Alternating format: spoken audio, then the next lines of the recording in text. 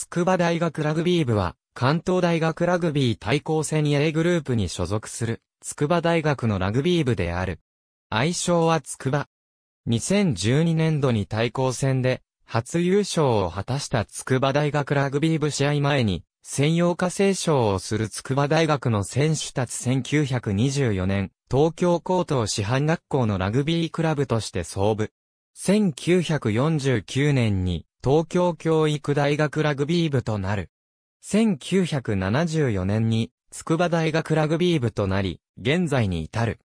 名実ともに日本の国立大学のラグビー部では最強のチームである。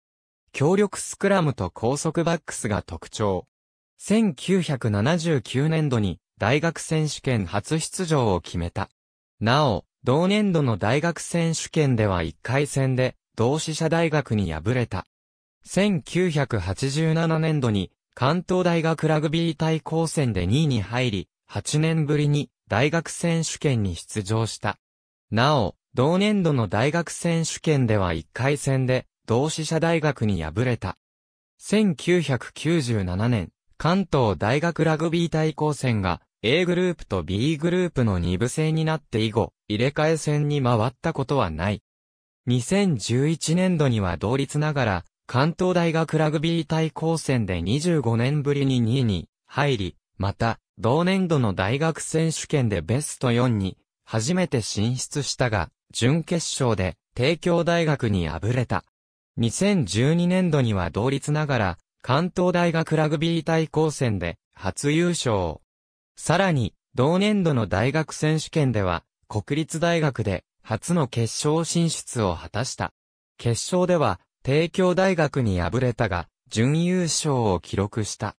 2014年度に関東大学ラグビー対抗戦で5位に終わったが、大学選手権では再び決勝進出を果たした。しかし、帝京大学に敗れ準優勝だった。2015年、関東大学ラグビー対抗戦最終戦で、帝京大学に勝利して、帝京大学の大学連勝記録を50でストップさせた。なお、同年度の大学選手権では初めて、セカンドステージで敗退した。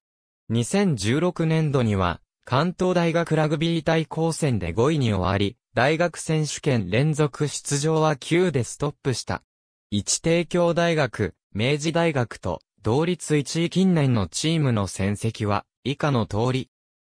一慶応義塾大学と、同率5位に早稲田大学と同率4位三明治、大学、慶応義塾大学と、同率3位4早稲田大学、明治大学と、同率2位5帝京大学、明治大学と、同率1位6慶応義塾大学と、同率3位7帝京大学と、同率3位8同点抽選で、流通経済大学が勝ち抜け。ありがとうございます。